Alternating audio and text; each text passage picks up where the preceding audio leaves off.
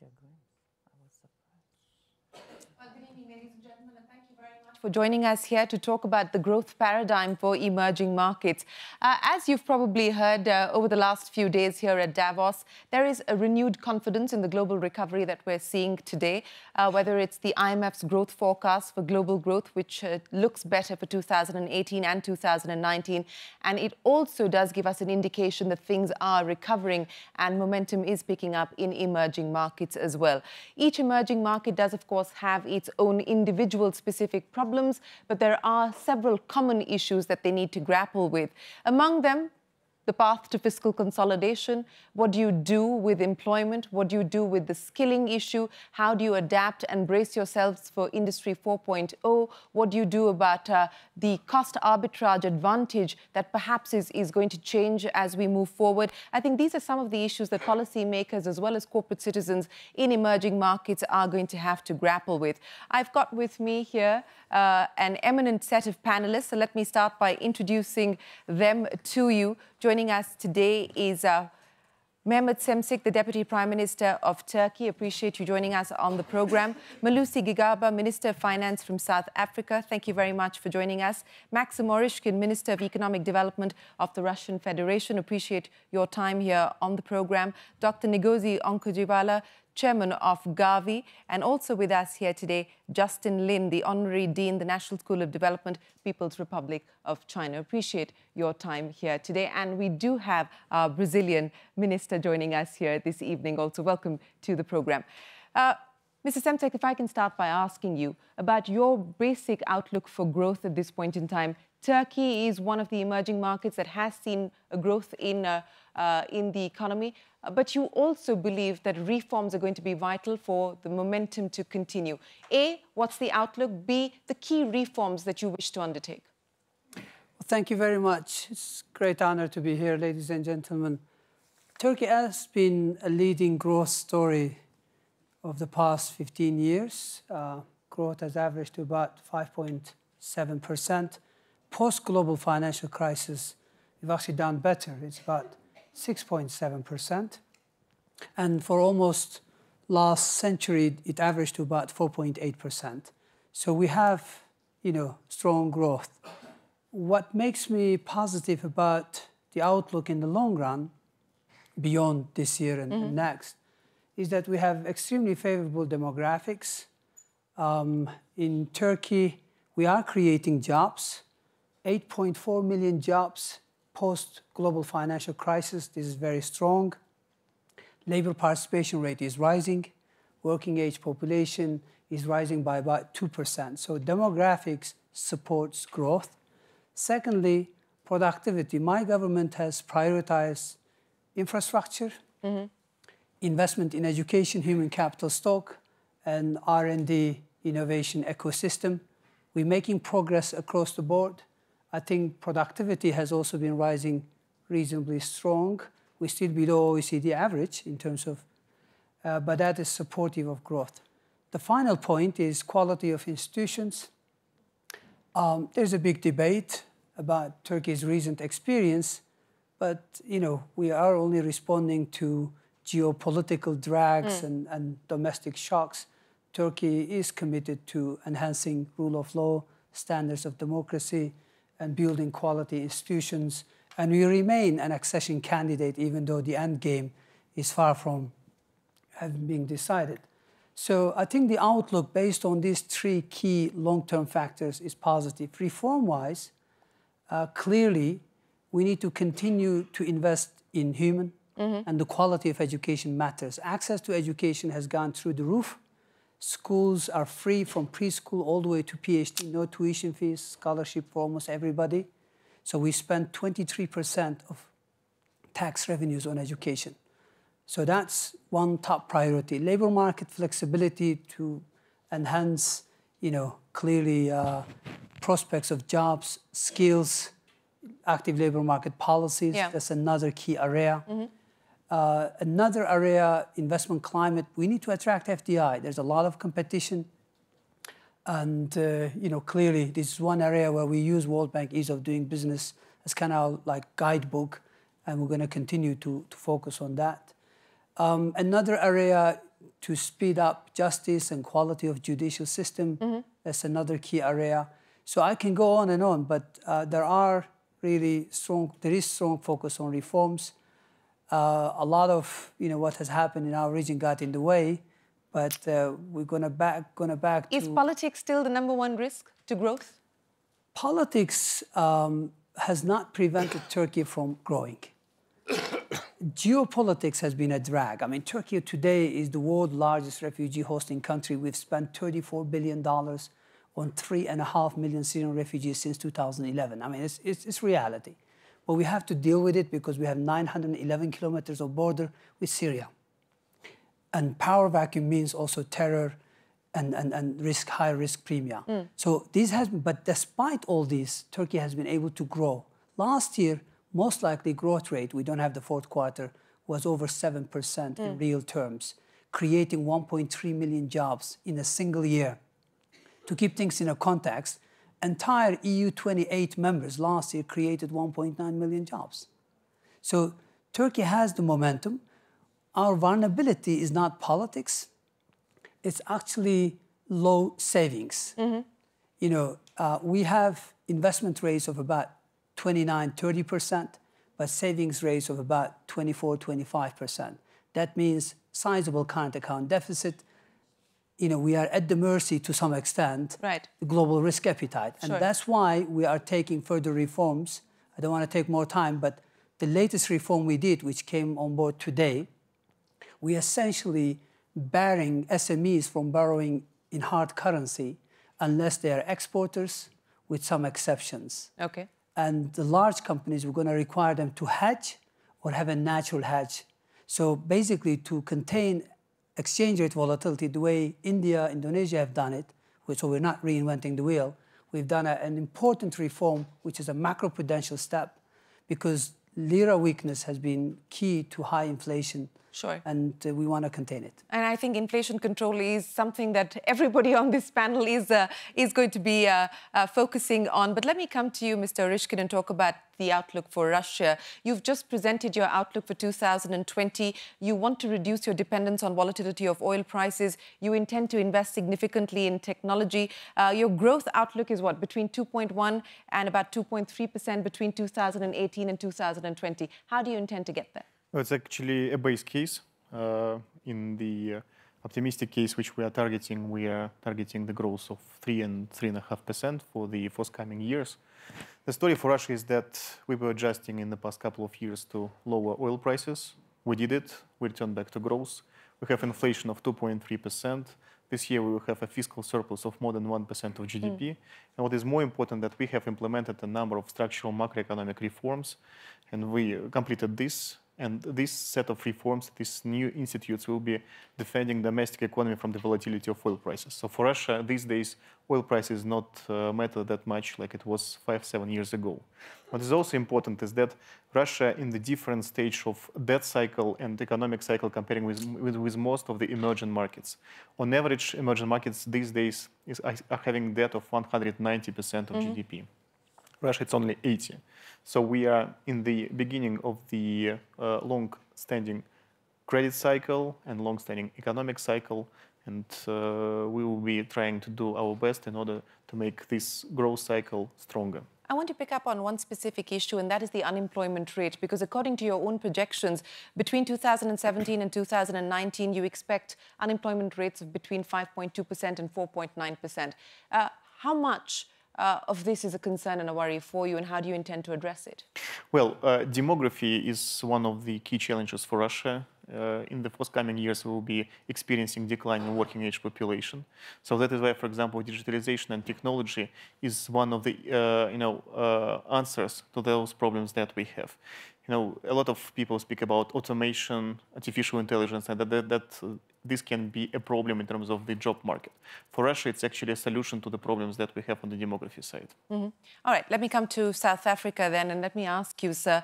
Uh, some of the challenges that you face, uh, I think some uh, are challenges that we face in India as well, dealing with uh, unlocking value as far as state owned companies are concerned, for instance. Fiscal consolidation is an issue that you're grappling with as well. Uh, unemployment, as we just heard there from Russia, is a challenge that you're faced with as well. What is the outlook for 2018 and what is the reform agenda? You know, we, we have gone through several years of economic slowdown. And in, in, at first, it was as a result of the global slowdown, but we've seen the uh, curve um, turning in terms of the global economic outlook. Um, even for sub-Saharan Africa, we expect stronger growth, but South Africa trails behind the, that growth curve as a result, in large measure, of um, systemic and, and, and subjective um, structural factors in the economy that we need to deal with. A lot of the reasons why our economy is growing slowly, it's not creating employment, is because of um, subjective factors that are within the control of government. And mm all we need to do is to take the hard decisions, and that includes a number of structural factors, the, the uh, resolving uh, outstanding sector policies, around mining, telecommunications, and uh, energy, resolving the governance of state-owned companies and strengthening the financial sustainability of our state-owned companies, ensuring that they have proper management and they are run properly, um, and, and, and addressing the problems of unemployment mm. and, and, and labor market reforms, which require that we forge stronger partnerships between government, the private sector, and, and labor but, but also ensuring that um, we, we, we, respond to our challenges by providing political certainty. So in, in our country, we've had a, a number of these challenges. So for this year, um, much as the, the, the IMF has revised our growth projections downwards to 0.9, we, we think that we, we can because of the political certainty that has now been provided and, and a number of other positive factors in our economy, a promise that we can um, uh, resolve the sectoral challenges and, you, uh, and, and boost business confidence, we, we think that we can um, surprise ourselves to the upside and get the economy going um, stronger than what, what, what has been the case. So my thought is that the, the 0.9% growth projection by the IMF is only if things remain the same and we do nothing more. Okay. And so I think if we, we, we are going to do something, there's been a positive sentiment even here among investors. If we sustain that momentum of confidence, uh, because confidence, building business and consumer confidence is the cheapest form of stimulus, they say. we intend to do exactly the same thing and fight corruption, create a positive perception about public institutions in the country, and we think that would uh, turn the economy around and get us going. Well, you're not the only one who thinks that the IMF growth forecast for your country is, uh, is not accurate. Uh, uh, Brazil, sir, you, you feel exactly the same way. You believe that the IMF is wrong in its forecast of 1.5% uh, growth for Brazil. You believe that it's likely to be upwards of 3%, and you believe that is on account of things like pension reforms that you've been able to take. And you even think that the elections, in fact, uh, are a stimulus for, for growth. Why is that? Well, let's uh, go by part. First, uh, indeed, uh, I think that the projections for the GDP growth for 2017 are being revised up uh, by uh, the analysts in general and by the agencies and by ourselves. And the reason for that is that the economy is recovering faster and in a stronger path than it was forecasted before. You, you might recall we, we have uh, faced and come out of the worst recession ever in mm. Brazil. Uh, we faced a contraction of 8% of the GDP in uh, two years and, and, and, one quarter. And now it's a very strong recovery, but coming from a minus, point, uh, minus 3.6 yes. in 2016 to uh, 1 in 2017 which is our forecast, is a very strong and steep path of recovery, and that is continuing in 2018. Then definitely uh, we are getting into, uh, into this year with a strong momentum. Uh, social security reform, indeed, is very important. for the consolidation of the fiscal path during the next years. It's challenge, obviously, as in any country, to reform the pension uh, system. But uh, uh, I, I, I, am confident that this is going to be approved, it's going to be voted now in, in February. Mm. And that's an important element. Regarding elections, obviously, uh, that's a question to be seen. But my point is that with all the bad experience Brazilians had mm. during the last uh, years, with, uh, let's call, uh, alternative uh, macroeconomic policies. And now, with the kind of reforms and fiscal consolidation, etc., the, the country uh, growing again and jobs being created 1.4 million new jobs created in 17 expectation of 2.5 million new jobs in 18 we uh, think i personally have this opinion that all of that paves the way for a decision made by the voters of uh, continuing uh, a path which is leading to growth and has shown that during the past. Okay, I, will come to the, some of the specific issues that each of you have raised, but let me come to uh, you, Justin Lin. Uh, you know, there is confidence that's emerging here on this panel of emerging markets. Uh, if I look at what the, the IMF or the World Bank are saying, uh, that the risks at this point in time to growth seem pretty balanced, uh, what would you believe could sort of aid the recovery, or what could be a deterrent to the momentum continuing? Well, let me answer a question in a long historical context. Because this year, China is celebrating the 40th anniversary of transition from a planned economy mm. to a market economy. And as you know, the growth in these 40 years is a miracle in human history. On the average, the growth rate was 9.5% per year yeah. for 40 years. But certainly, China now is an upper middle income country. Mm-hmm. And the growth rate moderated somewhat but only somewhat. Mm-hmm. Because last year, the government growth target was 6.5%. Yes. But the growth rate last year was 6.9%. Certainly, we do not expect China to go back to 9.5, 10% mm hmm growth. But I'm very confident this year, the growth will be between 6.5% to 7%. Okay. Whether China will be close to 7% very much depends on external, mm. you know, economic situation.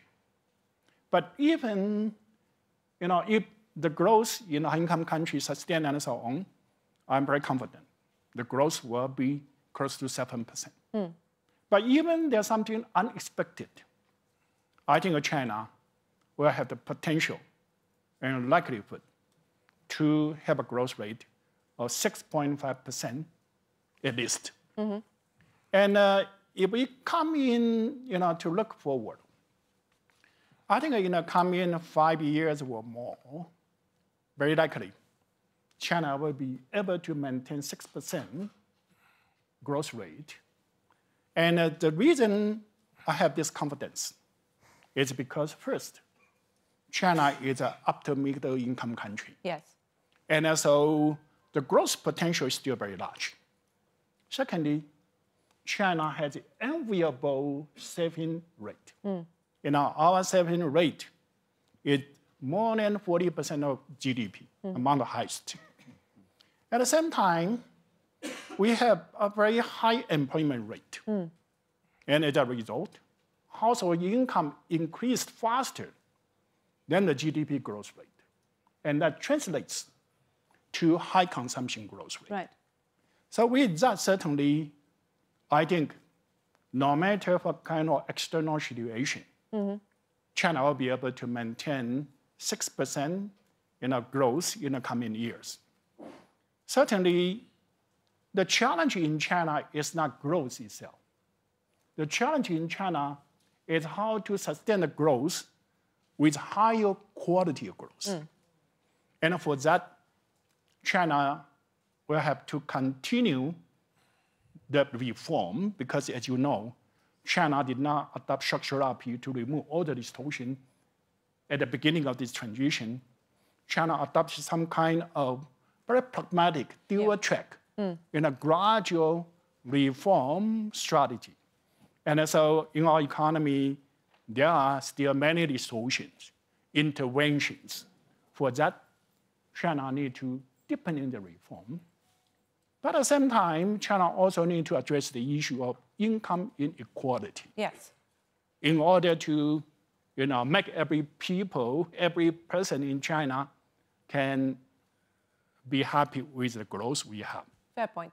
And the third one is that with income not increasing, people will demand higher standards on hmm. many things, you know, like environment, green growth, public service, and so on.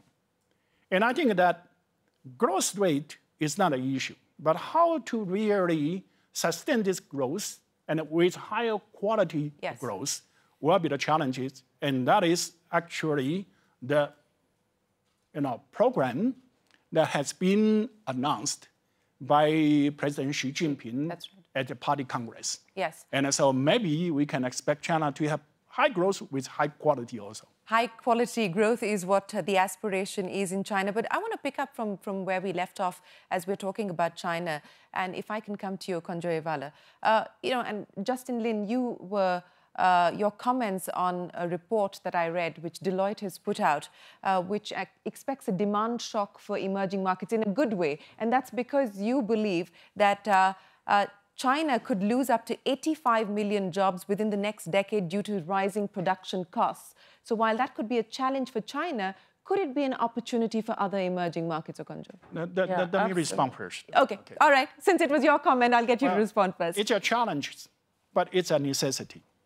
If China want to retain those 85 million labor-intensive, low-value-added jobs in China, then the growth target in China will not be achieved, hmm. right? So if want, China wanted to have a high income continuously, China needs to upgrade the industry continuously. And to new sector which you know, emerge as a new competitive Yeah. advantage of China. All the sectors used to be the competitive advantage of China. they will have to be you know, relocate to other countries, Mm-hmm. Yes. voluntarily or involuntarily. Yeah. That is a process of economic development. And certainly my sister will be very happy to answer the, rest, the second half of the question. So the shift in production that we just discussed here, what, what kind of an opportunity does it throw up for other emerging markets? Well, I think it throws up a a significant opportunity, uh, especially for, I think the African countries um, should try to seize this opportunity. But of course, they have to compete with uh, other uh, poorer East Asian countries like Cambodia and so on, Vietnam, uh, North Africa.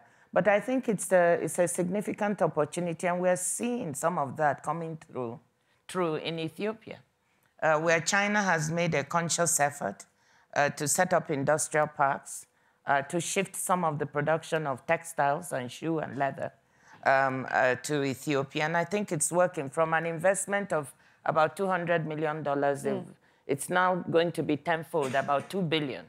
Um, and they're also investing in, infra- in infrastructure. But for us, let's say on the continent, emerging markets on the continent, and any emerging markets to seize this opportunity, um, we have to do two or three things. Yeah. I think one is infrastructure um, um, deficit, particularly in, in Africa, in some of our countries, without um, adequate power Yes. Ports and railroads, we will not be able to seize that opportunity because we've got to be able to, to provide the, the basic wherewithal uh, to make the manufacturing work. Um, we also need in, uh, to look at uh, doing business indicators, you know, the bureaucracy and red, red tape um, uh, of some of our policies that prevent us from taking advantage. And I believe that uh, some several countries on the continent have done better on the doing business. Minister Şimşek spoke about that for Turkey. Several African countries have improved uh, on that, including my own country, Nigeria. And we have to do structural reforms you know, that will enable us to, to, to be able to sustain and provide the environment. But the answer is yes. And if we don't move, well, every country will take advantage, those that can. Uh, Minister Meirelles, let me come to you now, uh, because, uh, you know, when we're talking about competitive advantage and when we're talking about emerging markets utilizing the opportunity uh, that they have at this point in time to, uh, to, to nurture the growth that you're seeing or the recovery that you're currently seeing. Brazil, for instance, it's seen as a closed economy. you do have high import tariffs, protectionist measures. As you now look uh, at trying to be a much larger player in the global landscape. What is it going to take in terms of key structural reforms, in terms of being able to attract foreign direct investment, in terms of being able to reduce tariff barriers? What is it going to take to make you more competitive? Uh, yes, you are right in the sense that Brazil has grown throughout the last decades based on a model of developing the domestic market, uh, increasing the market, for instance, to give an idea, only uh, from 2003 until 2014, 63 million Brazilians joined the middle class, for instance, of a population of about 200. That means that indeed this model has worked for a time. Yeah. Uh, so it's not relevant the, any longer. Yeah, the, exactly. The, now the next challenge is to open up the economy, and this is exactly what we are doing now. The question that you pose then is, okay, you open up, but how do you become competitive moving from a domestic-based consumption model to uh, export competition? The idea here is to make, and we are already doing that, a series of structural reforms mm in order to boost competitiveness. For instance, it was already approved a very comprehensive labor reform. Okay. Simplifying the whole, the whole system, lowering the cost, making the whole system more compet competitive. For instance, uh, changing the credit market, reforming the credit market, offering credit, more credit available, etc. Have investments into infrastructure, privatization, bringing private capital to infrastructure mm. uh, investment. Also, that boosts uh, productivity. Cutting red tape throughout the country, investing more in technology, in investment, in research. And all of that together is a series of reforms that we call the microeconomic reforms, which means productivity, enhancing reforms. But does it worry you that you've decided to open up at a time when it looks like the world is moving towards closing their doors and windows, or at least seems so at this point in time? Absolutely. But still, the difference uh, was so large that we still have room. you have room to, to get together. Uh, let me ask you. You talked about foreign direct investment and and the plan there for Turkey to be able to attract foreign direct investment. In terms of structural reforms, what is it that you intend to focus on to ensure that that is in fact a reality? Well, um, in terms of attracting FDI, clearly the market size is there. I mean, Turkey now, including the refugees, you're talking about 85 million population, per capita GDP at the current exchange rate, which has imploded in recent years on the back of political risk premia, uh, is still over well over $10,000 on a PPP basis, about $26,000, $27,000. So it is a sizable market, and it's a growing market. So that on its own is attractive. But to make it more attractive, I think we should continue to invest and, and do the way our Brazilian friends are doing, you know, growth enhancing, productivity enhancing reforms, because it's all about prospects of growth. Mm. And prospects of growth are strong. The reforms that we are talking about, clearly a better investment climate would, would help, because as I said, there is a lot of competition. But also sometimes, you know, targeted incentives would help. We do have a tailor-made incentive regime that is aimed at reducing Turkey's reliance on imports, dependency on imports. So companies that do come to Turkey to invest, we do, you know, support them strongly, you know, huge tax breaks or other supports if they're going to either reduce, you know, imports or expand our export capacity. Mm. Uh, it's a very transparent, competitive way. It's open to everybody, so it's not a protectionist, uh, you know, attitude or, or, or framework. Uh, so certainly that, that also probably will help going forward. What would also help, of course, is a break for our part of the world. I mean, of course, our Brazilian friends are lucky, or our even, you know, South African and, and Chinese friends, we, they, they, they're not neighbors to uh, countries that are no longer functioning states, you know, such as Syria. Clearly, that's an issue. But despite that, I think the prospects are strong. Mm. We're going to continue to attract decent level of FDI. You know, a lot of the conversation around uh, emerging markets is the manufacturing opportunity, and every government uh, is is putting out programs and policies to encourage manufacturing, including uh, the government in India that aspires uh, for the share of to be about 25% of GDP. But how realistic is that and how relevant is that for the times that we live in today? Uh, and Mr. Oreshkin, let me ask you this because I'll, I'll, I'll uh, put forward to you uh, findings of an A.T. Kearney report which talks about the future of production. Uh, so 25% of the country's that account for over 75% of global manufacturing are well positioned to increase their share in the future, and a country like Russia doesn't figure in that. So then does manufacturing become the priority for you, or do you intend then to focus more on services, and what kind of a challenge does that throw up? Well, Russian economy is an economy with per capita GDP which is well above the global average it's well-developed economy, so the share of manufacturing in, within uh, Russia's GDP is only 12%. Yeah. Of course, this is one of the priorities here, but we clearly understand that only by using manufacturing uh, manufacturing, we will not achieve strong growth rates because of the small share of it in GDP. But what is important is that manufacturing is one of the core industries, which mm. create a lot of industries around it, create the services sector. So creating such core industries, creating competition in uh, you know aircraft making, other other stories where we. So will you focus on high-end manufacturing? Of course, of course. Okay. Yeah.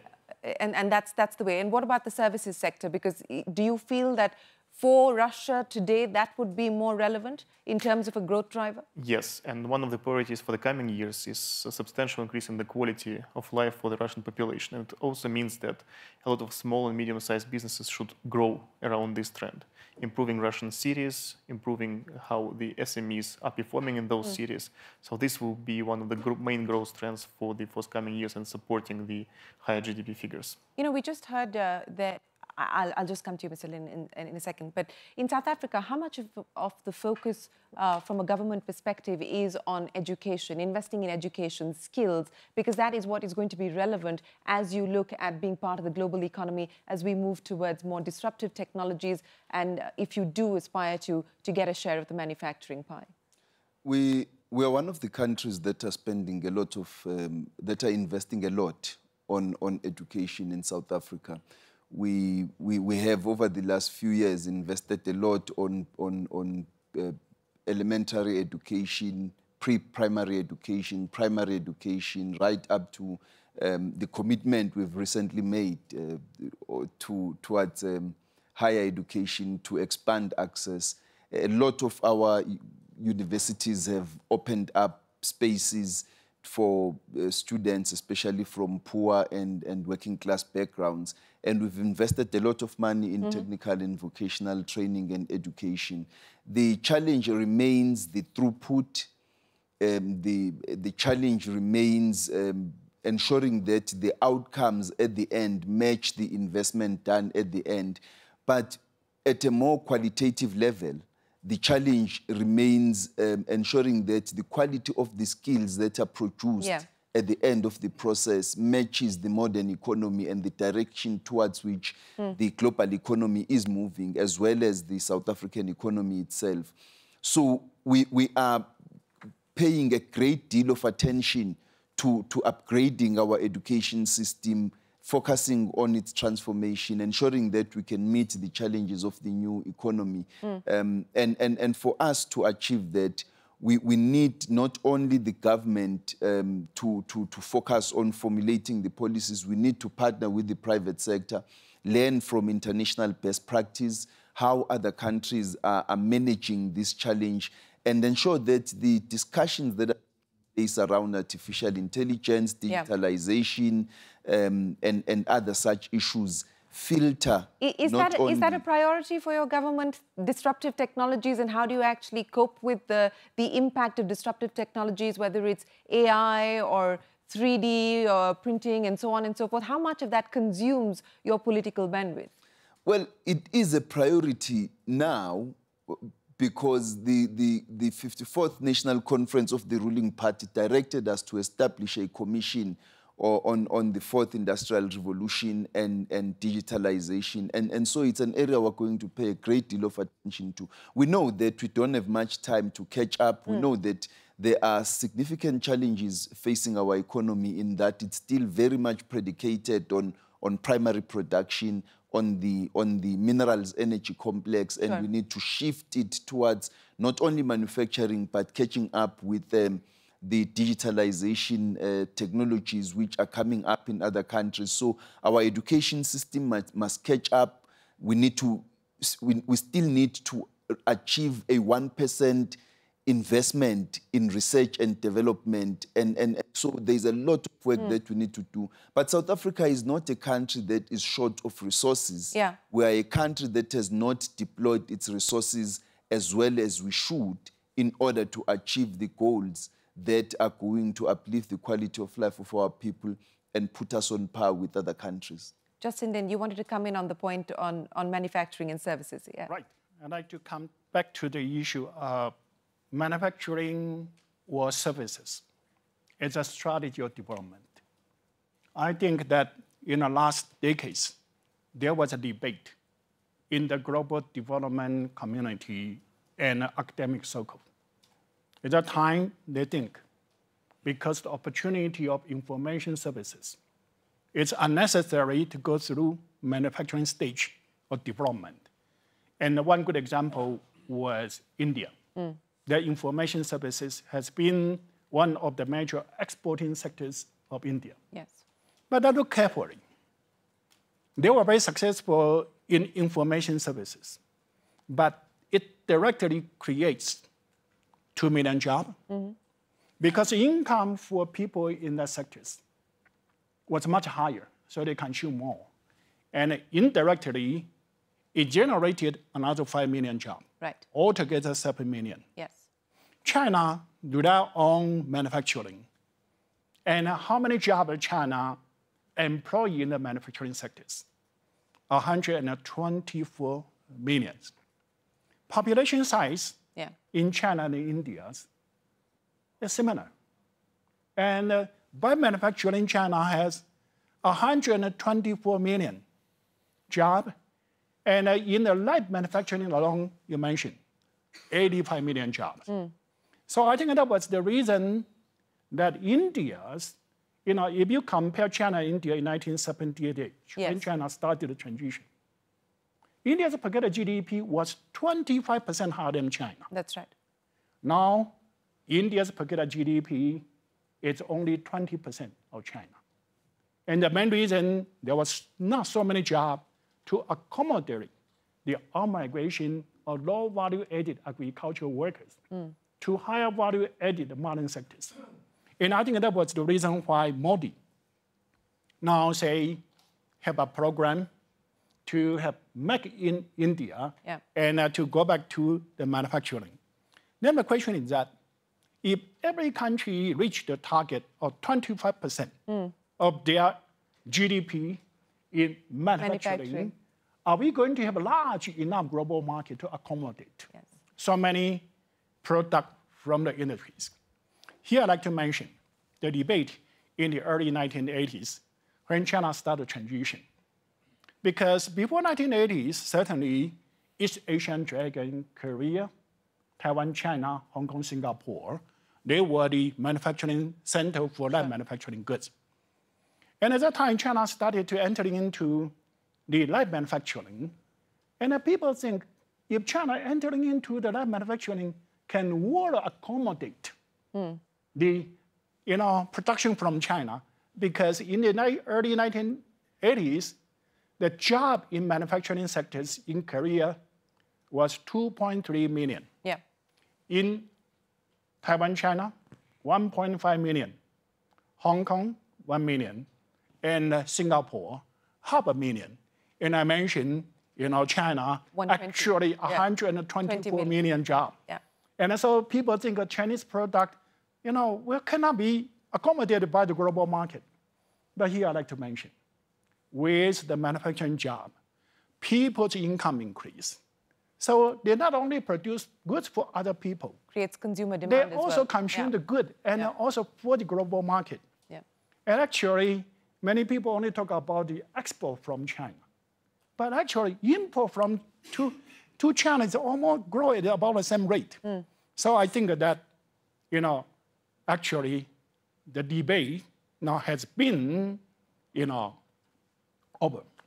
The I think that manufacturing is important for every country. And uh, if you have opportunity for service, fine, but you cannot neglect manufacturing. And I think that's the reason Modi now promote Make in Make India. in Africa. Make in India. Make in India. Make in No, no, no. We'll take I think I- we'll Mo- take it. Modi is not promoting Made in, make in Africa. He- No, no, no, because, because I have been devote so much time to promote I Make in think, I think, I think because Justin is really, uh, you know, he's an African at heart and has looked at it. But I just wanted to add to that debate that, look, I mean, sometimes I think it's a false debate, you know, manufacturing or services. It's both.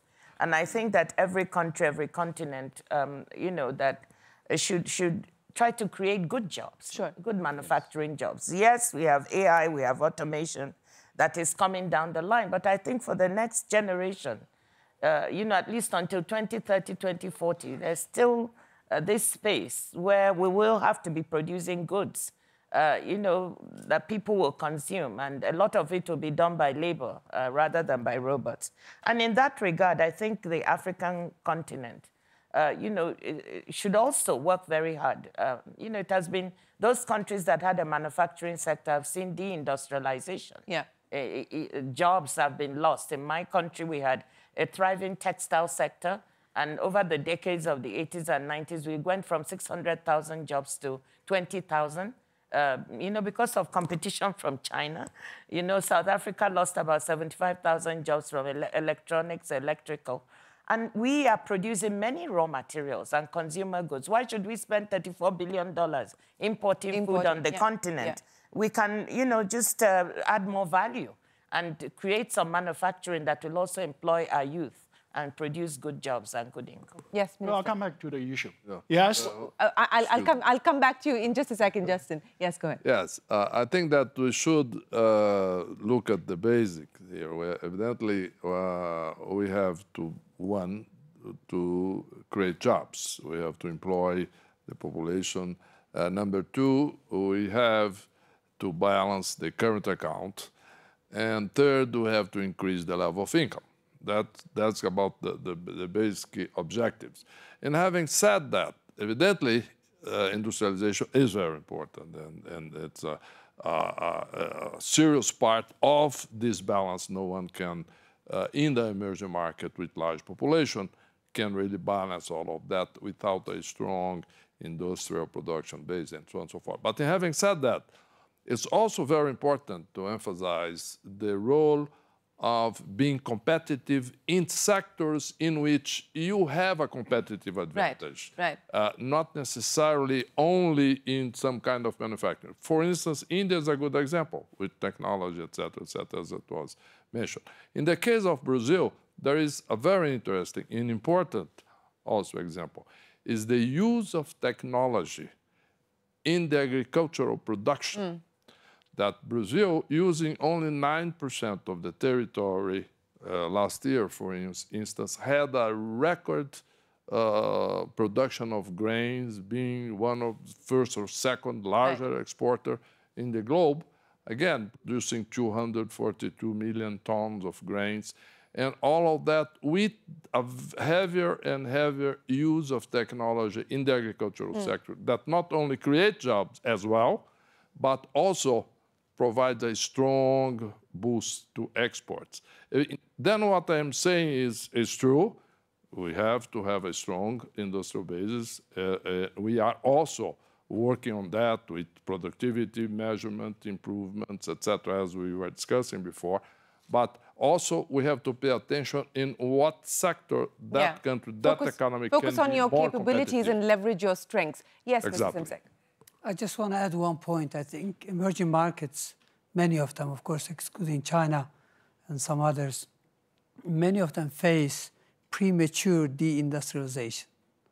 So the share of industrial output in GDP, you know, normally for countries in the catching up phase should remain relatively strong, whether that's 25% or, but should be over 20. But for many countries, actually under 20%. Yes. And that's actually quite a risk considering circumstances. Going forward, we do talk about technology, but technology usually in sectors, I mean, where technology is significant, and of course with artificial intelligence, you're going to get probably less jobs with those type of, you know, uh, sectors. It's it's very clear. the other day I saw uh, a social media message. You know, if you go back to like um, top three automotive companies, they generate annually $250 billion of revenue with 1.2 million employees.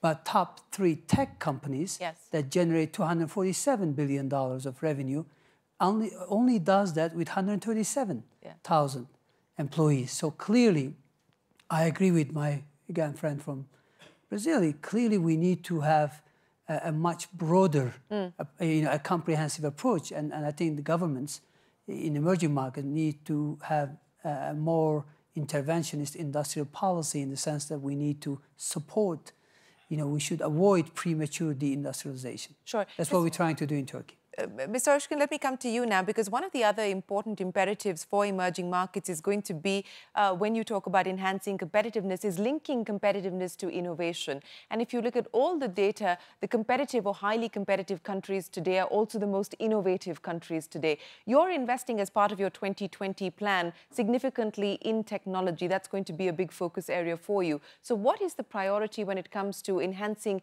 innovation uh, and linking that to your competitive advantage? Well, all the stories that will help us to change the structure of the labor market, because you know that in the demographic situation that we have, the less we need to have less jobs which can be automated, and we need to have more jobs which will bring more value. And the jobs of higher quality will mean higher wages, will mean higher consumer demand, and it will mean uh, strong economy. Okonjo. Yeah, I, I just wanted to shift the conversation a bit um, and, and say this. I mean, we're focusing, everyone is feeling relief now because global growth is back. Um, you know, developed countries are doing better, emerging markets are doing better, etc. And I'm afraid, you know, we may start losing again the lessons that are coming from this period. And I want us to talk a little bit about, you know, how they share, who shares in this growth. The issue of which emerging markets are succeeding and which are not. McKinsey is just coming out with a new study showing that, you know, emerging markets are expected, they contributed 63% of global growth in the past 15 hmm. years. And the projection is that to 2030, they will continue. But the 18 most successful ones are those who managed to grow and share the benefits of growth, you know, among workers as Yes. well as uh, investors. Among workers, wages doubled. And, you know, uh, the companies also saw profits. Governments were able to tax better and redistribute. Savings went up. So I think it's not just about growth and innovation, but the quality of the growth Absolutely. as Justin and the redistributive policies where many countries have been failing. I think that is crucial. And we must keep that at the center of the conversation. You're absolutely right. And Justin, I want you to pick up on that. The idea of inclusion, the idea of improving the quality of growth that you just talked about in your opening comments, uh, you know, and this is a challenge that is going to be faced by most emerging market economies. Uh, how do you move your per capita income up? I mean, India is grappling with that issue at this point in time. Uh, you know, what, what are the imperatives that policymakers will need to focus on as we move forward from an inclusion perspective? I think that it related a debate in the 1980s, 1990s.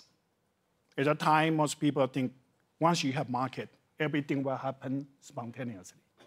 and only good things. However, if you want to have high quality growth, inclusive growth, certainly on the one hand, you should rely markets, provide incentive for entrepreneur. Mm. But at the same time, you also need to have uh, Safety net. enabling government to facilitate the growth in a direction that can be inclusive, mm. in a direction that will not only have a quantitative expansion, but also with quality enhancement. And uh, you know, I like go come back to you know the discussion about in the 1980s, 1990s, that job lost in the textile garment sector in Nigeria and uh, electronic sectors in South Africa and so on. Actually, that related to you know, the development model at that time. At that time, we have a lot of talk of, about trade liberalization. You remove the trade barriers, and that you give the market to you know, take Yeah. care of everything. Yeah. As a result, how can you compete with the Chinese export? Because, as you mentioned, infrastructure was poor. Yeah. Business environment was not good enough. Education cannot really, you know, uh, uh, help the worker to acquire new technologies. But fortunately, China in this transition process, on the one hand, allowed the market to play increasingly important role, but the government always play a very proactive facilitation Yeah. role. In some format like, you know, the industrial policy the Deputy Prime Minister Turkey, you know, mentioned. So I think that certainly there are many challenges in the world. But for me, one of the important challenges is that we need to have a reflection of the model that we used to advocate and to gain some more insight so we can really make the growth inclusive with high quality benefit everyone in the coming year, including the artificial intelligence and so on, those kind of new technology available. Absolutely. Yes. Yes. Quick comments. I'll, I'll come round and then I'll come to the floor for questions. Yes, go ahead. You know, I, I I also want to add another dimension to the discussion on inclusion. Uh, inclusion not with, within countries, but inclusion between countries. I think one of the positive prospects, especially for Southern Africa, uh, or, or- or, specifically for South Africa today, is the political transition, the changes taking place in Zimbabwe and in Angola.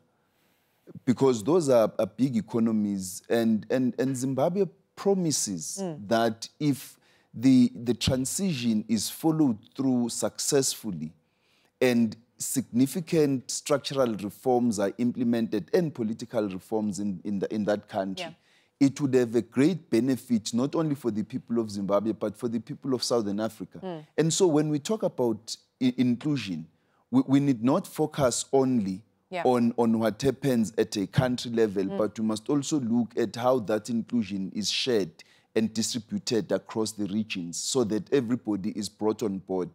And that would have an impact on, on, on the migration patterns. It's not going to stop them as anybody who asks me whether migration patterns between South Africa and Zimbabwe are going to stop now because of the changes taking place in Zimbabwe, my answer is simply no.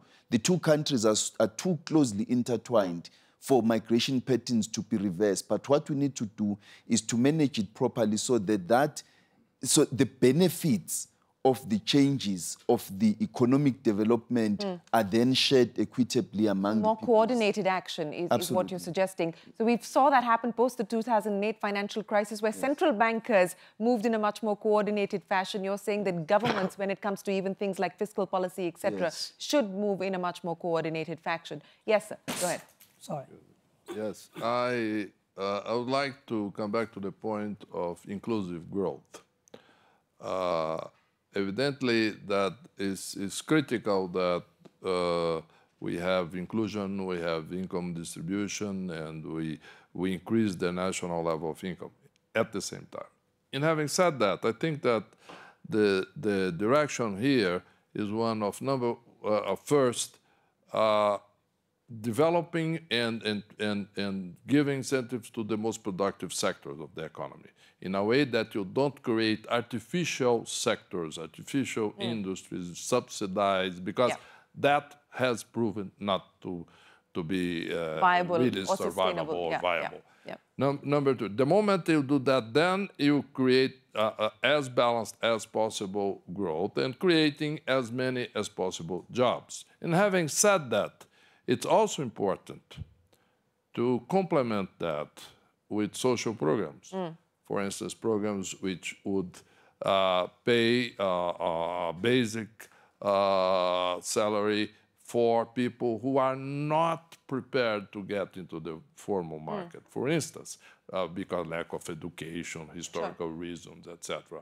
And then uh, the second step, after that being done, and those uh, persons not only joining the consumer market, but being able to send their children to school.